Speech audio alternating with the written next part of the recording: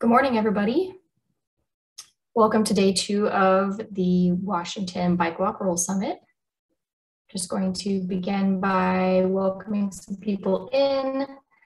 Um, as you enter the space, feel free to introduce yourself in the chat feature. Let us know who you are, where you're coming from, and we will sit tight for a little bit while everybody filters in, and we'll start soon.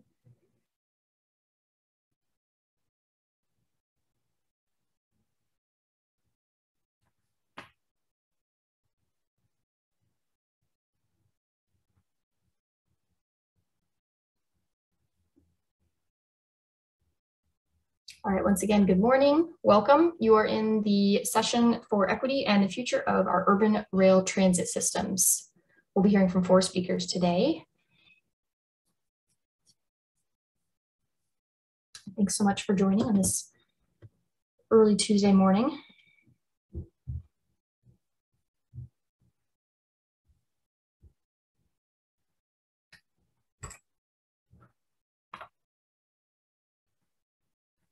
And yes, if you haven't already, feel free to enter in your uh, do a little intro in the in the chat feature. Let us know who you are, where you're coming from, and we'll get started with the presentation in about a minute.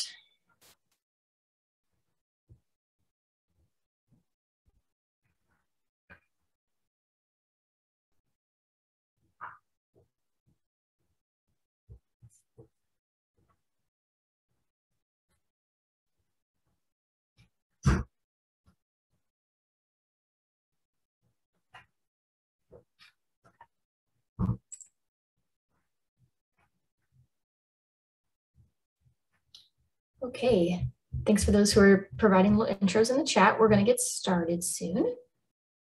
Good morning, everybody. Like I said before, you're in day two. Uh, we're in day two of the uh, Washington Bike Walk Roll Summit, and this session is Equity and the Future of Our Urban Rail Transit Systems. Uh, I'm Rachel Schaefer. I use she, her pronouns. I'm the Seattle Advocacy and Policy Manager for Cascade Bike Club. Um, welcome to the summit. We're excited to have you with us for this five-day virtual event, and we're thrilled to see folks from so many communities around the state um, and beyond. We would like to start with the land acknowledgement. This summit is virtual, and those participating are joining us from many lands. We acknowledge that the land that Cascade Bicycle Club sits on today as the traditional home of the Duwamish, Tulalip, Muckleshoot, and Suquamish tribal nations. And if you don't know what land, whose lands you're on, look in the chat in a minute where you'll see a link to a map you can use to look up your place on the land. Without them, we would not have access to this environment, and we take the opportunity to thank the original caretakers of this land who are still here. And we'd also like to note that we are um, recording this session and it will be available after the summit. Okay, so this summit is hosted by Cascade Bike Club. And um, oops, I'm not sure what happened to my screen.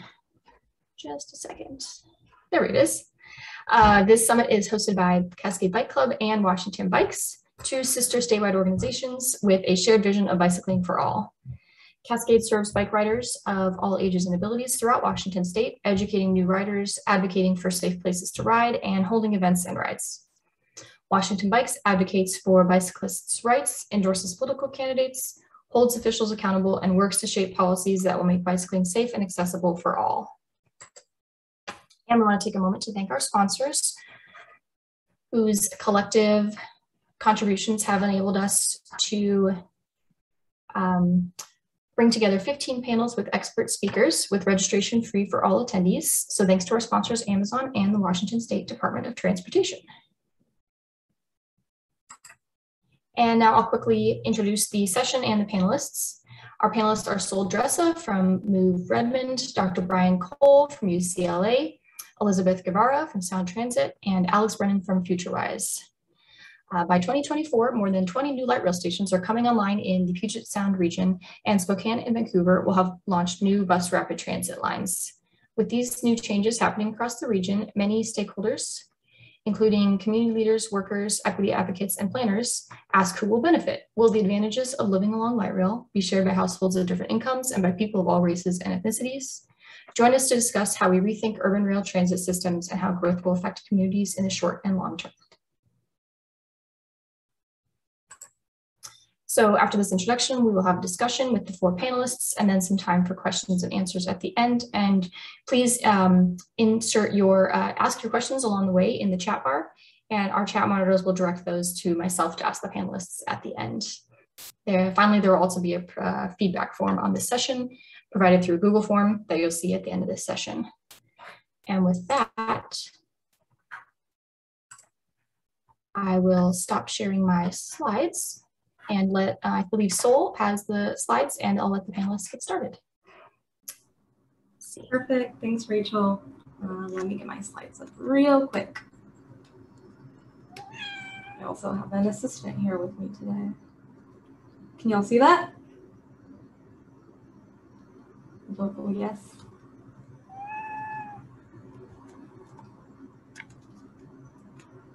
Are the slides visible? Yes. Yes, you are good to go. Cool. Um, so my name is Sol Dressa. Uh, my pronouns are they, she. Um, and I am the transportation specialist at Move Redmond. Um, Move Redmond is the advocates for walking, biking, and public transit in Redmond, Washington. And to learn more about um, the work that we do at Move Redmond, head to our website and subscribe to our action alerts at moveredmond.org. And I'll put that in the chat in a second. Um, a little bit about me, I come to uh, transportation justice work through a public health background. Um, a lot of my work has been focused on the built environment and seeing sort of examples of what you know a good design looks like and how that facilitates a healthy environment.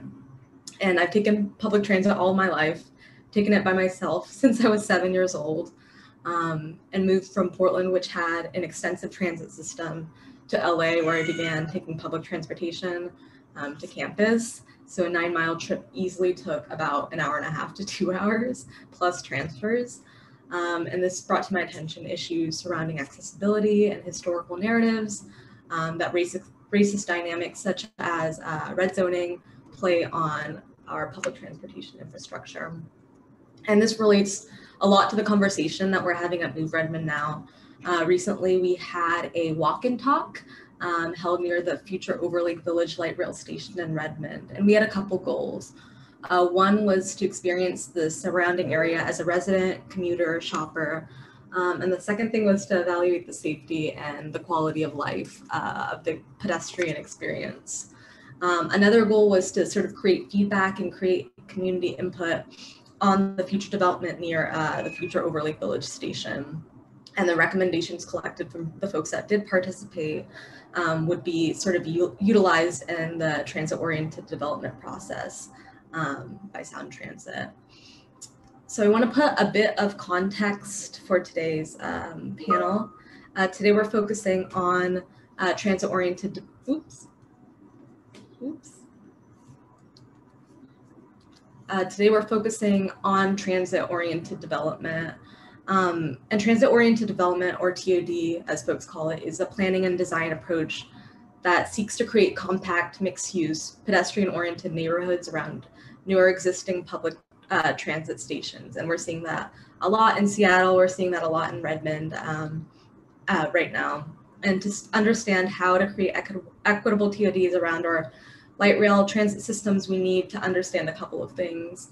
Um, land use policies and how that dictates aspects of our lives, including transportation, housing, health, and systemic policies that uphold racism. Um, uh, so stakeholders, including community leaders, workers, equity advocates, and planners, should partner with peers in transit to promote, you know, equitable transit-oriented development.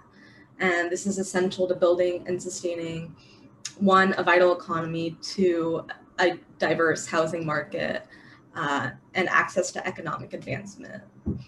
And our panelists today bring sort of different perspectives and backgrounds, um, and therefore come in with sort of unique and intersectional lenses for transit-oriented development. Um, so I'm going to introduce them. Uh, so our first panelist is Alex Brennan, who's the executive director at FutureWise, uh, Washington State's leading advocate for smart land use policy. Alex comes to FutureWise after eight years at Capitol Hill Housing, where he served as senior planner um, and then as executive director of the Capitol Hill Eco District, a neighborhood based community development and environmental sustainability initiative. Prior to his time at Capitol Hill Housing, Alex worked in the Bay Area as a researcher and planning economics consultant. He holds a master's degree in city planning from the University of California, Berkeley. Alex was born and raised in Seattle.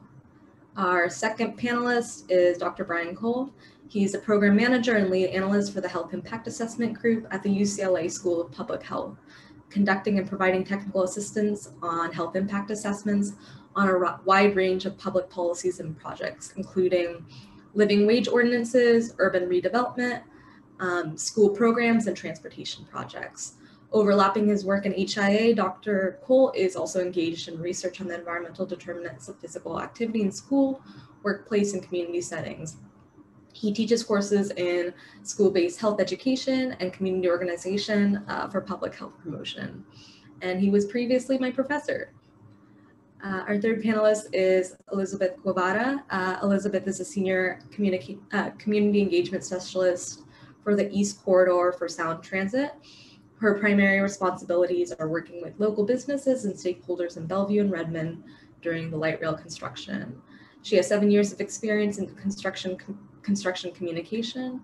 Prior to working in Sound Transit, she worked as communications consultant supporting clients like QWEP corporations, and WSDOT on infrastructure mega projects like State Route 520 floating bridge and landings. Elizabeth graduated from Seattle University with a bachelor's degree in strategic communications. Thank you again for our panelists for being here. I will now hand it off uh, to our first panelist, Alex, uh, who will give uh, sort of a background on TODs. And just let me know when to go next and I will do that, Alex. All right, uh, thanks Sol, um, and thanks so much for having me today. Um, so I'm going to particularly talk about uh, how uh, you in the audience can be an advocate in your community to influence transit-oriented development or TOD. Uh, next slide.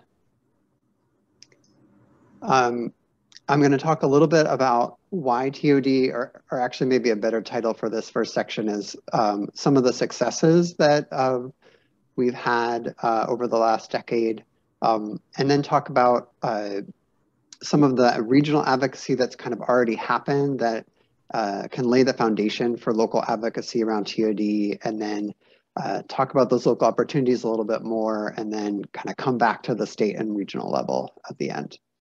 Next slide. Um, uh, you know, FutureWise works uh, statewide, and I was really excited in the chat to see so many people from all over the state. Um, I my presentation today is pretty Central Puget Sound focused, but I just want to preface that with uh, you know this. Um, a lot of these things apply uh, in Spokane, in the Tri Cities, in Yakima, and in Vancouver, um, et cetera. Uh, next slide. Um, and you can just jump to the next slide again too. Uh, so, you know, I think we often don't take a minute to kind of celebrate some of the successes that uh, that we've had. And um, one of those is that over the last decade, um, Central Puget Sound in particular has seen uh, some of the biggest increases in transit ridership and uh, some of the biggest decreases in per capita vehicle miles traveled, or VMT, um, in the country. Um, and I'm gonna, I'm just gonna apologize now for, I'm gonna be using TOD and VMT a lot uh, in this short presentation. Um, so you can see some of that data on this slide, next, uh, next slide. Um, and there's a lot of reasons for that, but um, one of the big reasons from my perspective is the amount of transit-oriented development that we've seen. Um, and we just got some great data on this from the US Census last month. Um, when for the first time we were able to calculate population weighted densities for um, uh, metropolitan areas across the country and found that uh, Seattle or the Puget Sound region had the biggest increase in population weighted density, which is sort of the most uh, meaningful measure we have of density um, in the country. Next slide. And that's particularly noticeable when you look at other metros that have um, that you know sort of already have a significant amount of density. The the other two uh, places that increased a lot, Charlotte and Atlanta, are some of the least dense metros in the country. Uh, when you look at Seattle compared to the other uh, densest 12 metros, you see that not only in the last decade did we uh, leapfrog Las Vegas, San Diego, and San Jose, but that the Seattle region is actually now denser than Miami, Washington, D.C., and Philadelphia were a decade ago. And a big part of that is because of all of the growth that we've seen around uh, transit stations. Next slide.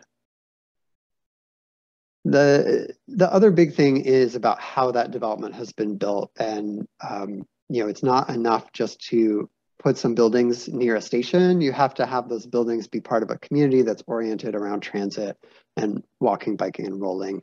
And a big part of that is uh, how much parking you're putting in these buildings. Um, and so we've seen a really dramatic decrease in parking and new construction um, over the last uh, decade or so, um, getting us back to the levels that we saw in the 1940s and 50s. Next slide. Um, but there, there are some problems too, some limitations and some problems. So, so one of the the limitations that I want to highlight uh, first is that most of this has happened within the city of Seattle limits. Um, Redmond actually has done done a lot of uh, work too, and I think Move Redmond can take some credit for that.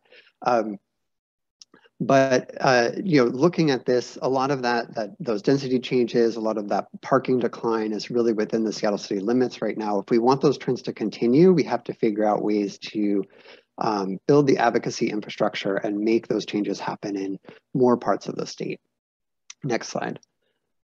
Um, and uh, and then there's there's some downsides to some really big important downsides to the um, changes that we've seen and and challenges that we haven't figured out good ways to address. And one of the biggest ones of those, um, and we'll be talking about equitable TOD, I think a lot later, is uh, affordability. And this is just an example from uh, the Capitol Hill neighborhood, and I'm going to talk about that station uh, a little bit more in a second. But you can see over the last decade, we've just seen a skyrocketing of rents. Um, and uh, this isn't solely the result of uh, light rail opening in the neighborhood, but um, you can see that we haven't been able to kind of fully address the affordability issues to keep these neighborhoods inclusive. Um, next slide. Um, at the same time, though, there's some, there's some good things. As, as a local advocate, you have some wind at your sails from regional efforts that have uh, advocacy efforts that have been completed over the last several years. Um, one of those is uh, Vision 2050, the, the new regional plan for Central Puget Sound uh, that uh, really has a lot of tools in it to promote transit-oriented development and affordable housing near transit. Next slide. And another piece of that, um, I think, is really the, the transformation of Sound Transit from an agency that a decade ago was very focused on building out the system and not really interested in transit-oriented development, um, and that I think has really transformed itself uh, over the last several years to a national leader in terms of transit agencies that think about development around their stations. Next slide.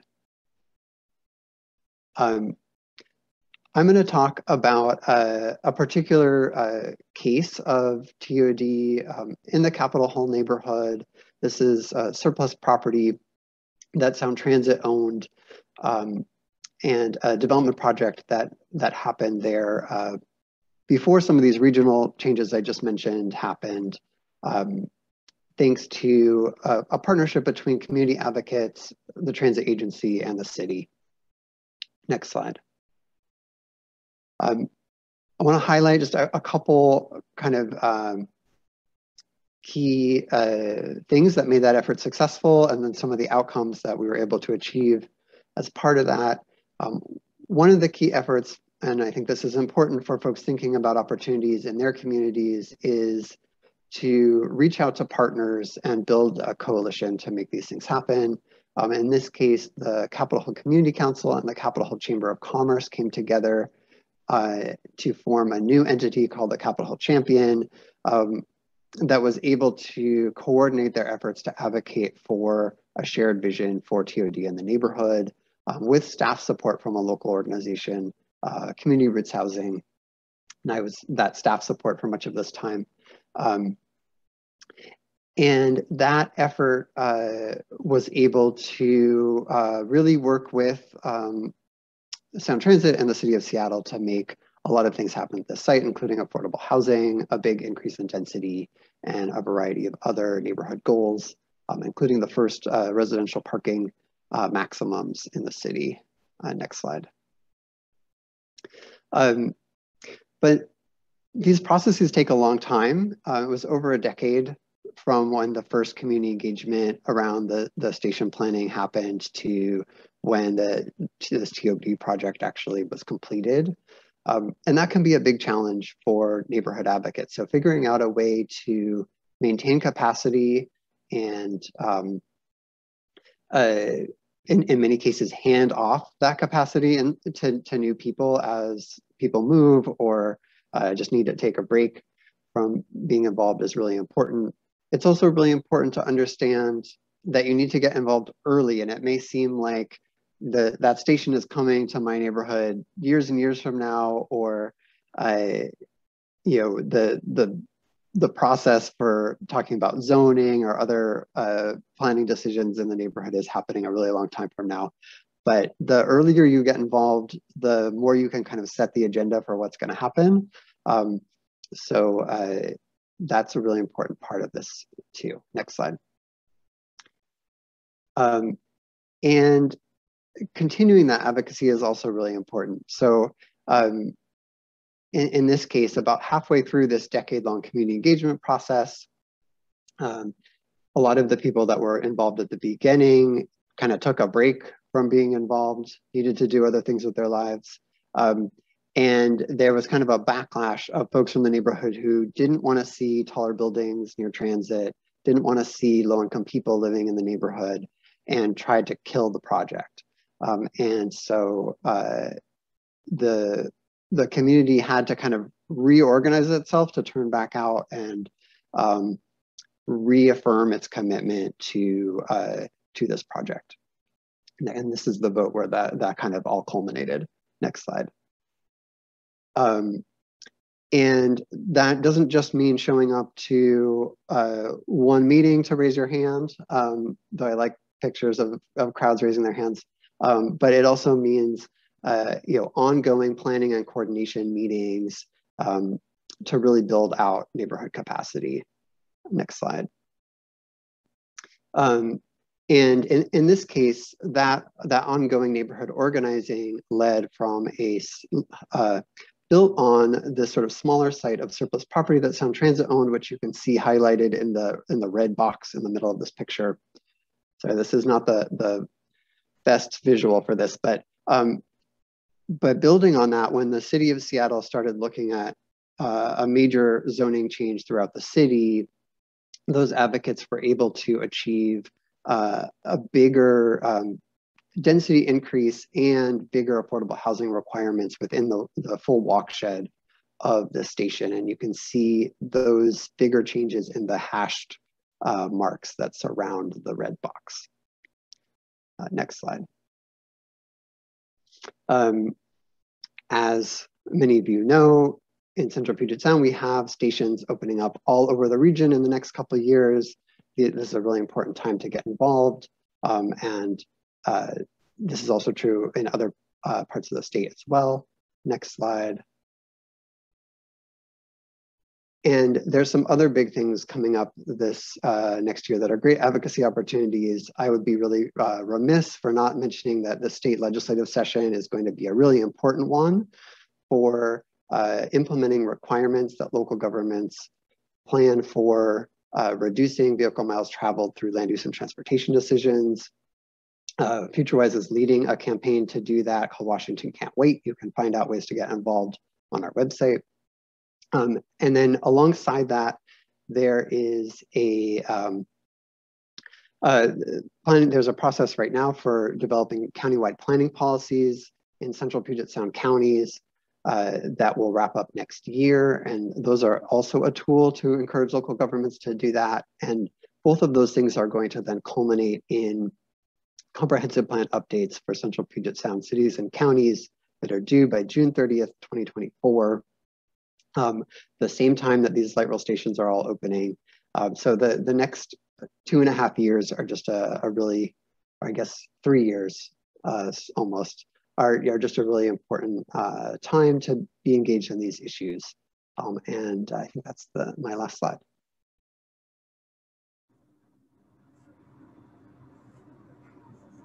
Uh, thanks, Alex. I really liked the, the when you talked about sort of reaching out and building coalition.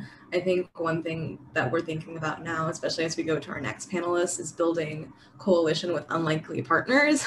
Um, I heard about transit-oriented development through public health. Um, so I'd like to introduce our next panelist who will talk a little bit more about um, the intersection on transit-oriented development and health. Dr. Brian Cole.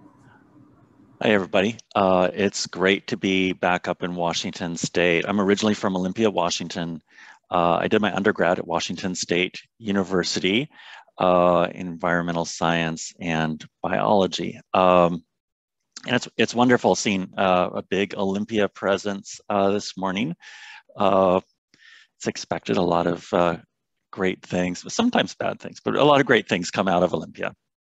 So um, I'm uh, going to be talking about um, something called health impact assessment. It's uh, a tool uh, that uh, my colleagues and I have been working on since uh, the, you know 2001, uh, and we've been kind of the the van at the vanguard of bringing HIA practice into the United States. It's a tool that was originally developed. Actually, a lot of people don't know this. It was originally developed by the World Bank uh, in the uh, mid 1990s and then taken up uh, first in Europe, Canada, Australia, and other places, finally the United States in the early 2000s. Uh, and the idea behind health impact assessment is uh, it's a little bit like environmental impact assessment, but don't take that similarity too far. Uh, there's, a, a, lot of dangers in, in doing that. There's some really important distinctions.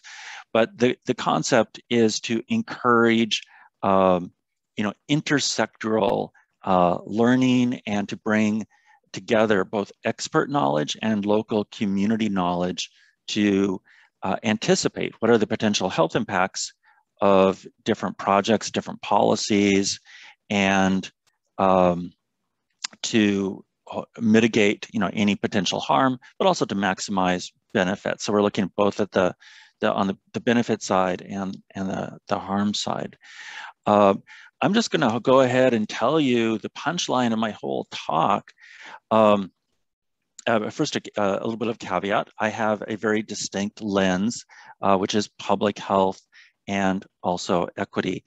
Uh, so the, the punchline here is that uh, looking at what is an important thing, but who is just as important, oftentimes more important when it comes to anticipating, planning, and implementing transportation systems. Uh, if, if we're interested in impacting and improving community quality of life, we gotta focus on who. Um, and so now I'll go back to the beginning of my presentation. So uh, next slide, please. So uh, health impact assessment, again, uh, we're aiming to identify potential health effects. We also are really concerned about their distribution.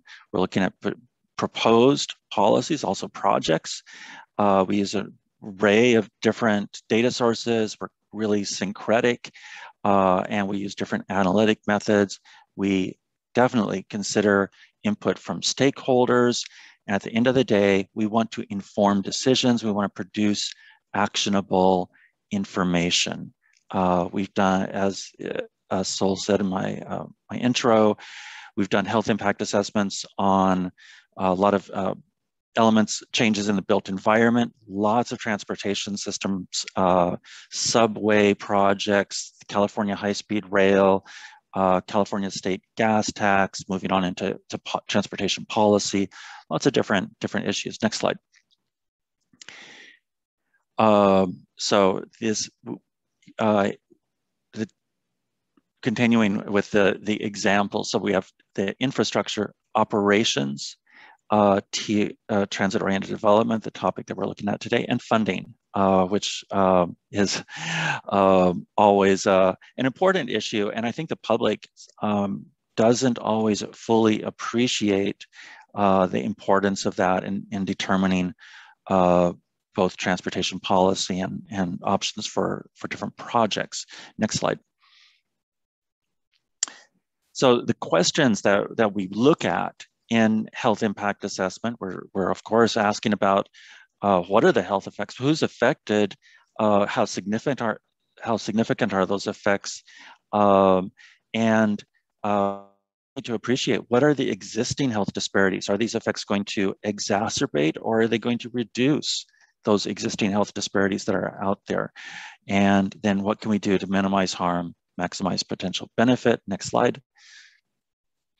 Uh, a, a product that we will often develop in a, the course of a health impact assessment is something we call a logic framework, uh, where we're showing the causal connections between our policy or project uh, affecting uh, these, these first order effects. So like a, uh, in this example of the California changes to California state gas tax, we're affecting vehicle miles traveled, vehicle choice, mode choice, and so on.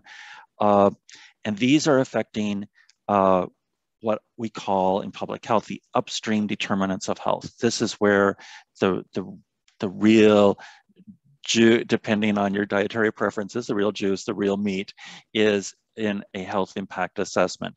Uh, so in this particular health impact assessment, we're looking at the cost burden on uh, people who are, in this case, driving, uh, vehicle emissions, traffic uh, congestion, noise, and uh, traffic safety injury risk. And then eventually taking those out to the downstream health impacts like air pollution exposure, noise exposure, and so on. Okay, next slide. Health equity is one of the core uh, pillars uh, or, or, values of health impact assessment. Um, and and this is uh, um, these these pillars are kind of agreed on you know internationally by health impact uh, assessment practitioners that uh, we want to have um, equity. We want to make health impact assessment a vehicle for promoting equity. Uh, it's important to also um, you encourage you know democratic decision making that's kind of an assumption underline this, uh, that it's not just going to be top-down information and uh, decision-making, ethical use of evidence, and of course, sustainable development. Next slide. When we're talking about equity, um, this it, it is essential to realize that um, there's two different strands here coming together. Uh, and this is kind of at the at the core of, of my work in health impact assessment is, of course, we're trying to reduce disparities, uh, in this case, health disparities, uh, disparities in people's ex environmental exposures, in their opportunities, and uh, in their health outcomes. But another core element of health impact assessment is that people are able to participate and determine their health. However well meaning uh, policies may be, if there is not an opportunity for people to uh, in, engage and decide um, for self determination, uh, then we've really not uh, been supporting real equity, real health equity. Next slide.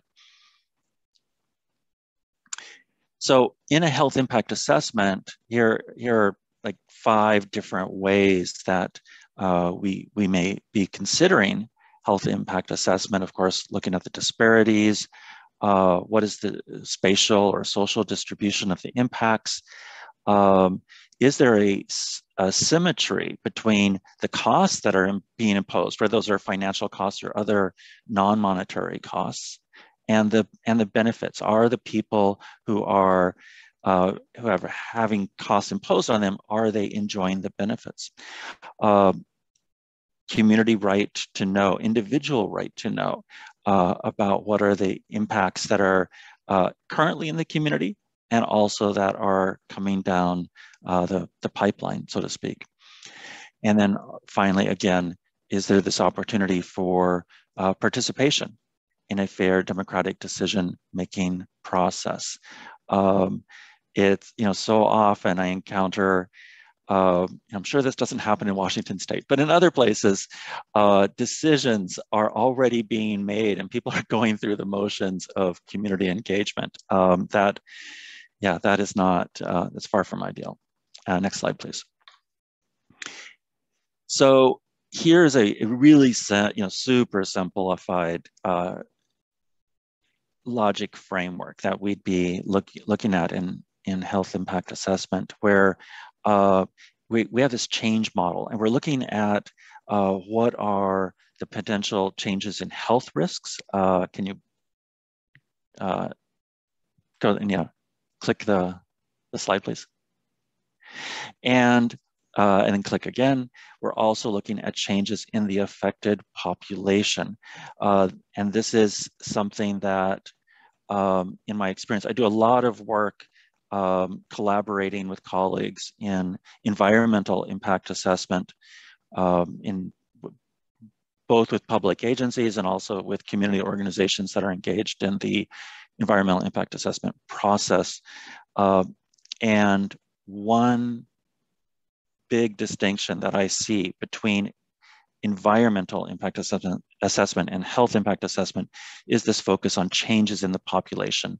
Um, in our work in Los Angeles with on this uh, our new subway extension, our health impact assessment of California's high-speed rail, these changes in affected population are probably as big, if not bigger, than changes in people's new uh, health risk exposures or exposures to potential health benefits. Who is affected by a project? Who can afford to still live there? Um, and what happens to those people who are displaced are huge impacts, and I think they're underappreciated. That's all. Thank you.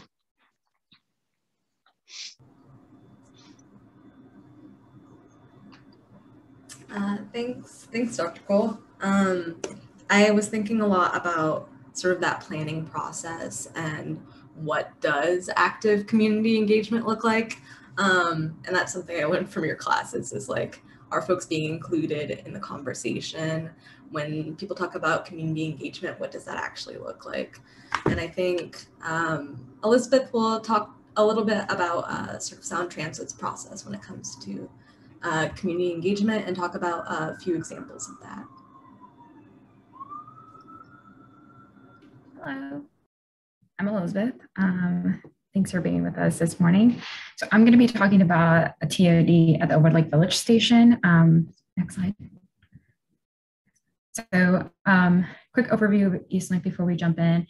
East Link is a 14 mile long extension connecting four cities, Seattle, Mercer Island, Bellevue, and Redmond with 10 stations. And we're currently nearing the last milestones of construction and preparing for the operations and systems portion of the project. And we're currently on schedule to open in 2023. Next slide, please. So here's um, the station that we'll be talking about. This is the Overlake Lake Village Station. It's located on the eastbound SR 520 on 152nd Avenue Northeast. And you can see um, there's some amenities built into the station. It is an at-grade station um, and it has a pedestrian bridge that connects um, to a bike trail on the westbound side of SR 520. Um, next slide, please. And here are some aerial views of the site. Um, this is from last winter, but it hasn't changed much. Um, so you can see from the west and the east, um, it's a pretty, pretty nice size um, space. Next slide, please. So engagement at the Overlake Village Station, Sound Transit purchased land near the station that's highlighted in pink um, to store construction equipment and mobile offices through the construction phase of East Link. Um, after the station opens, we intend to make these properties, it's about two acres or about the size of two football fields available for TOD. So TOD in this space could include anything from housing, retail, restaurants, offices, and community spaces to support the neighborhood um, with direct access to transit and station's just a few steps away. Um, we are collaborating with partners like the City of Redmond to explore the potential of TOD while planning for light rail. Um, we're providing opportunities for folks in the area to um, be involved and share ideas of the potential use for the land. Um, so community input informs our process um, to select development partners as we plan for the selection process. And after, um, we'll be asking for, there will be opportunities for the public to get updates and engage. So this past summer, we did our first round of engagement for this site particular specifically. Um, and we heard from over a thousand uh, folks, um, folks that live, work, um, or go to school near this site. Um, and some of the key findings that we heard back from uh, folks was that housing should serve folks with different ranges of income, um, including market rate and low to moderate income levels. Um, this house uh, needs to provide opportunities for um, multifamily settings um, and dedicated housing for folks over 65 um, or folks with disabilities. Housing should be, include bigger two or three bedroom units, even if it means building fewer units. Um, and the site should provide access to services for folks to live in the area and who use the transit station. Um, so that's what we've heard so far, but there's definitely going to be opportunities later this winter and early next year um, to engage again with us and talk about the potential of this site and how, and Alex mentioned early on in his presentation, there are other um, TOD uh, projects planned as we come into service with a lot of our um, stations here in 2023 and 2024. So there's a site down at the Kent Des Moines area, um, which if you're in that area, um, there's a on our webpage, there's a version of myself, um, so my counterpart who you can talk to um, and engage with. And then we have some sites coming up in the north uh, side with Lynnwood. Um, so I would also encourage you, if you are in either of those regions, to engage with our folks. Um, would, as Alex said, engaging often and early on is the best way to make sure that these sites are developed and reflect the community that we're building into. Um, our hope is that we really enhance the neighborhoods and um, we acknowledge that you know building light rail and infrastructure is very disruptive as um, Dr. Cole just walked us through. So uh, we want to make sure that we're integrating to the communities that we're, we're building in and serving. That's it. Thanks, Elizabeth. And I'm also going to put the link that you had sent me so folks could see ways to get involved. Um, I know I want to thank our panelists again for coming together and speak, speaking on some of those issues. Um, uh, we have, we're getting some questions in the chat, so I'm excited, excited to send those y'all way. The first question that we have um, is for Dr. Cole. Are, or anyone, but are, are any state DOTs using health impact assessment in a similar manner to NEPA or environmental assessments? Yeah, so HIAs are not mandated anywhere except uh, there's some there's a Montgomery County, uh, Maryland, uh, ha has a requirement for health impact assessments, and I think it's just for transportation projects actually there, um, that they need a chat in, in their uh, environmental impact assessments, they need a, a, health impact assessment chapter or consideration.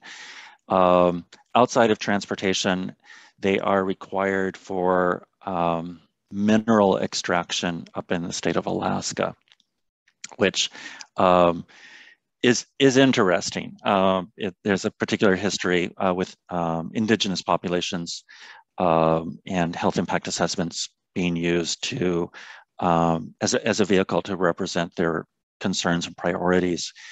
Uh, in California, we've uh, we also do not have a mandate for health impact assessment, but many health impact assessments have been on, done on a voluntary basis in parallel to environmental impact assessments required by the state of California, California State Environmental Quality Act. It's pretty strict.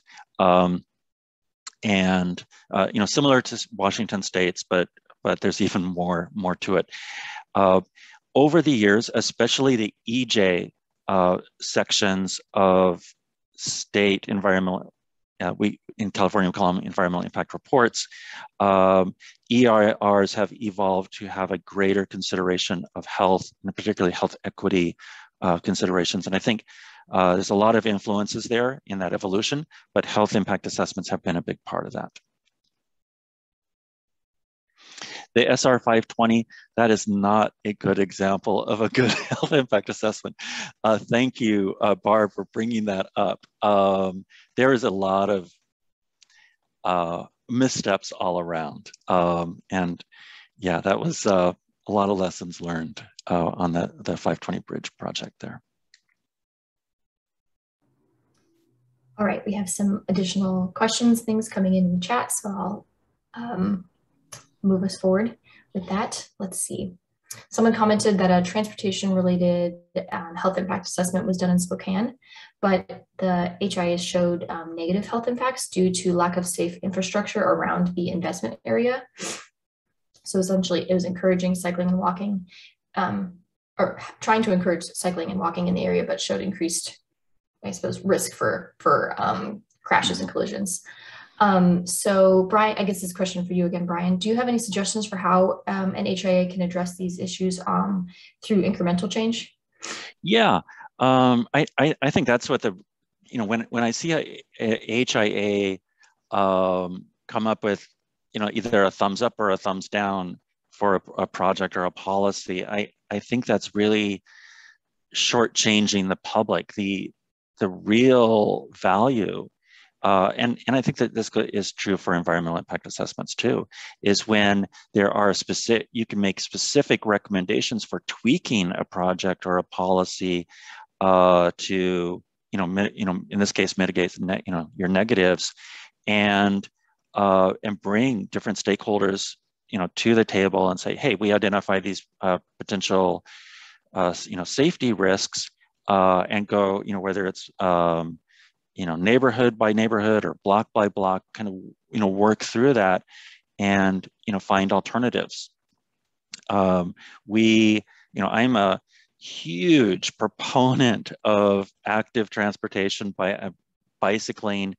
Uh, but when in Los Angeles, when I saw that um, there's a proposal for along Wilshire, Wilshire Boulevard is kind of the spine going through the center of Los Angeles from downtown to West Los Angeles, Santa Monica.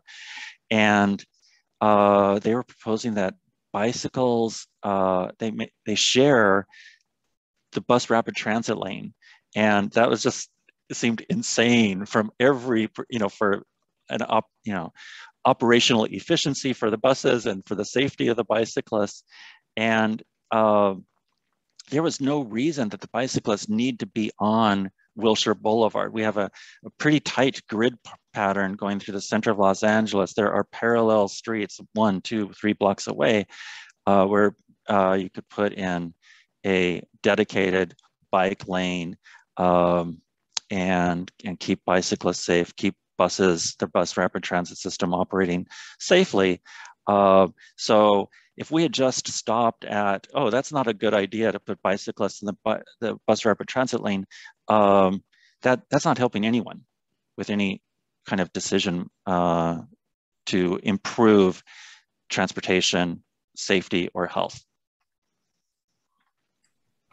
Also, I want to say Clark County has been, I, I think we have a couple of folks from Clark County. Clark County has done a lot of health impact assessments. Okay, thank you for that. Have another question. Um, this is on the topic of community engagement. So I think I'll um, ask Elizabeth first. Um, do you have recommendations around how we engage with folks who are most often marginalized um, and most impacted by transit? Um, this question is mostly specifically asking about folks who are unhoused. Yeah, I can talk specifically about the work that we did specifically um, in this Redmond site. My colleagues have had different outcomes um, what they've done their engagement in the different parts of the Puget Sound. So we have worked very closely with um, CBOs in the area to make sure that we're reaching folks that are not, um, you know, that are not yet easily um, engaged in our traditional methods. So that's been very helpful. Um, the pandemic has been a little challenging to do um, in, in, person, which I think is the best. Um, but, you know, that's something I miss from being able to do, um, being out and talking to folks. Um, but that has been a very helpful um, way of engaging folks is working with community-based organizations in the area. Uh, Alex, I'm wondering if you have anything to add, um, whether with your role in Futurewise or because you have your um, your background in the Capitol Hill housing as well. Um, sure. You know, I, I, think this is this is a really important. A, lot of times, what we see in is that kind of the most privileged people in a community are the ones that feel the most um, comfortable or are the most connected to participating in community engagement on their own. Um, and I, I, think also this has to do with how we often frame the engagement questions that there's um, there's often sort of a framing around do you have concerns about sort of nuisance issues with changes? So um, a framing around like are you worried that there will be shadows on your garden or are you worried about not being able to park as easily on your street rather than engaging the community around uh, a sort of positive vision and i'm not saying i'm not saying this as a particular criticism of sound transit um, but just i think in general in in kind of uh, government agency engagement of neighborhoods um, th there's a lack of sort of focusing on the um, the impacts that are going to affect when we talk about like uh, unhoused folks or folks that are um, in uh, uh, unstable housing situations. Um, you know, in, in the particular Capitol Hill example, um, we we didn't have uh, as much of a focus on engaging unhoused uh, folks, but we did really focus on engaging renters. About 80% of the Capitol Hill neighborhood rents. Um, but uh, when we were initially kind of doing this work, pretty much everybody that was involved in the um, TOD project was a homeowner. And so we knew that we weren't really getting feedback from people that were worried about increasing rents and housing insecurity. Um, and so I think, you know, one thing is just uh, doing some evaluation of like, who are you reaching and uh, comparing that with the demographics in a neighborhood to get a sense of you know what the blind spots are and then having a really proactive strategy to reach folks and talk about the issue that you think um, may be missing in the conversation you know if we um, and we were able to engage more renters i think because of the focus on affordability at the tod site um, and affordable rental housing in particular if we had been just focused on um, transportation impacts or some of the, the nuisance issues that I mentioned, I don't think that we would have been able to reach those folks.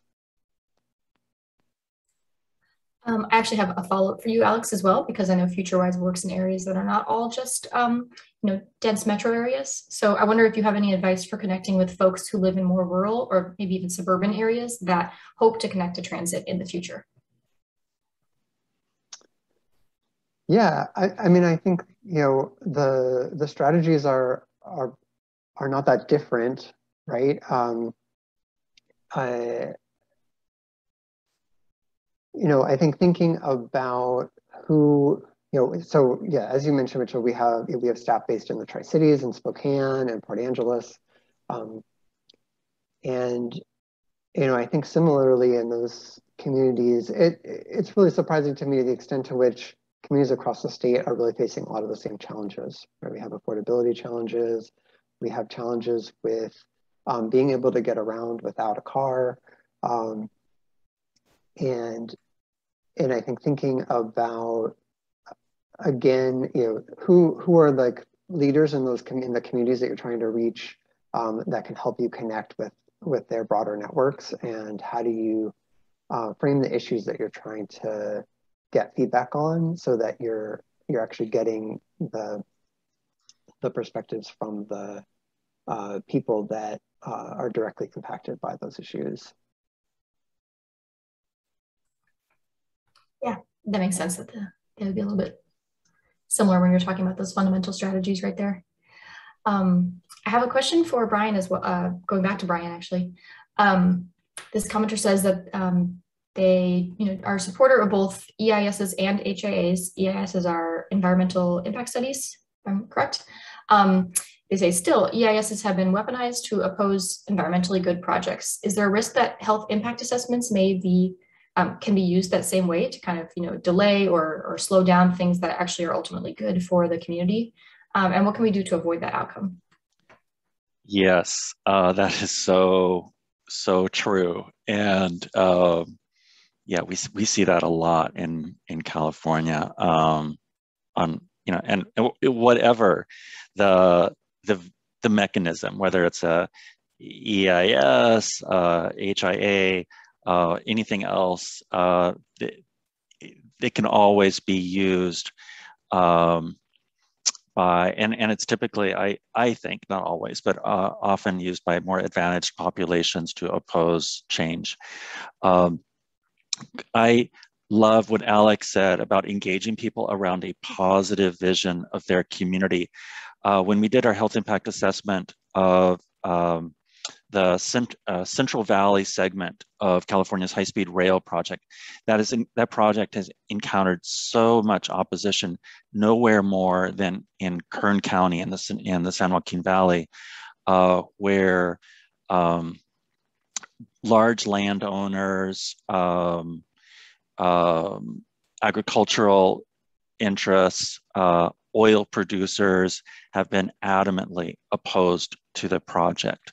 Um, there's no, you know, I've worked in a lot of um, different countries, uh, developing economies, and there, and some of the colonial legacies that I see in, you know, Congo remind me of what I see in, in Bakersfield. And in that kind of um, atmosphere, of course, HIA could be what you know weaponized to to use Brock's term. Uh, so what we did is we worked with youth groups uh, in in the community uh, on a uh, using photo something called photo voice. Uh, Soul's done this too, uh, giving people you know training in capturing what are the the issues in their community. What do they like? Uh, what are the problems? Uh, what is their vision for the future? And then uh, using their their uh, graphic depictions to help people articulate that vision of the future, and then come back and say, how does this project interface with that vision? Is this project going to help accelerate our movement towards that vision or is it going to impede it? And how can it be changed so that we can move faster towards realizing that vision? Thank you for that. I think that's a it's a really interesting, uh, yeah, perspective to have on on uh, yeah recognizing the the risks and opportunities with doing these with doing these assessments. Um, I think we have time for one last question, a little, uh, if, it, if we can keep the, uh, the, answer short. And again, it's back to Alex, actually. Um, Brock was asking, what is the importance of TOD for achieving uh, DEI objectives? Um, and or what role will Vision Zero have in encouraging growth at station areas? I realize those are kind of two different questions.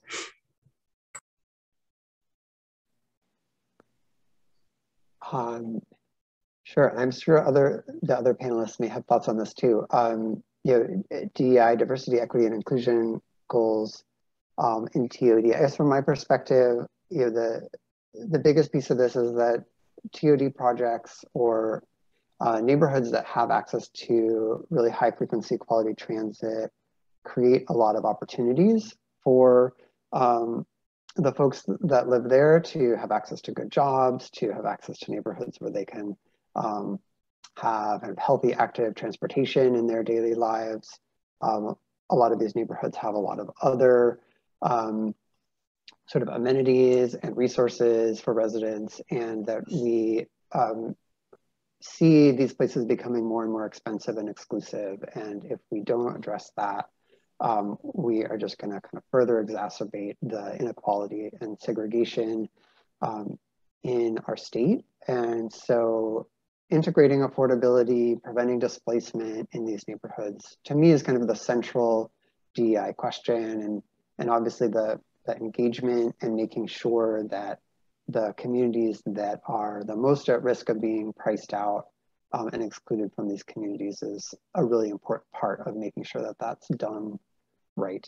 Um, so that's on the um, DEI piece in, in short. Um, and you know, Vision 2050, uh, I mean, I think the biggest piece of this is it really directs a lot of growth towards um, transit uh, oriented communities, places that have high frequency transit. And so as cities are doing their own planning to uh, implement their zoning to accommodate the, the growth targets that they've been given, they're going to need to add capacity near transit. And so that creates a really opportunity to engage um, in how that happens um, and make sure that that's done equitably. Great, thank you for answering two rather large questions in, in a super concise form. That's helpful. Um, okay, well, we are at time. I want to thank all of you as panelists for participating and sharing your knowledge today. Thank you to everybody who is in attendance and for asking questions and showing up this morning for this important topic. Um, our next session is at 12.30 today. It's called Lessons from Quick Build Complete Streets Projects. And finally, there, um, take a look in the chat. There is a link to a feedback form. We would love if you filled that out to give us feedback on how the summit is going. And um, with that, we will hopefully see you later this afternoon. So thank you again.